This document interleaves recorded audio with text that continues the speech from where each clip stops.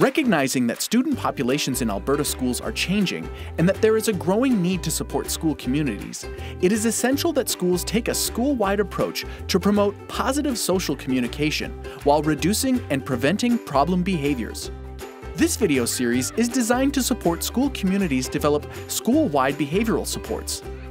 Each of the videos highlights an essential step taken by the staff at Anne Fitzgerald School in developing a shared vision and a common language towards a proactive approach to managing challenging behaviors. When I first came to Anne Fitzgerald School, we did have a lot of severe behavior, and it was hard on the teachers. People were burning out, and it was hard on the children and the families.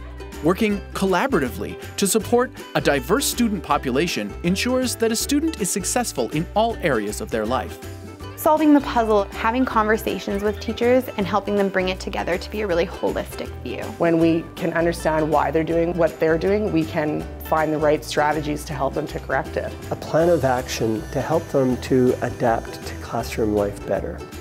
It's not just their academics and their social skills that are improving, but it's improving their quality of life and just their happiness as a child. Behavior has decreased in my classroom profoundly. The kids are happy, they feel supported, the parents feel supported. It's really made a huge difference.